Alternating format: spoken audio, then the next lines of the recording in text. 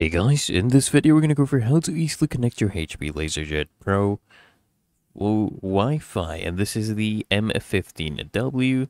So what you do guys is first open up your phone and here you'll see the network is available for your printer because it's connected but we don't have the password, right?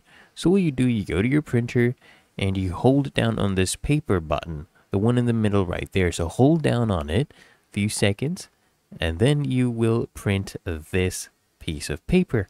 Now here you see Wi-Fi direct setup, you see your Wi-Fi direct password.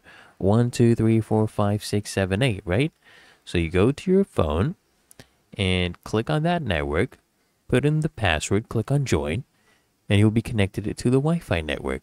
And then find the image or whatever you want to go ahead and print. So if you're using an iPhone, go there at the bottom left and click on that icon. And now you can go ahead and click on print now here under print options, you'll need to select a printer. So select our HP LaserJet M15W and then you just go ahead and click on print and there you go. You would have your printout. It's really that easy and simple. So make sure you smash that like button and subscribe to find your solution if you find this guide helpful.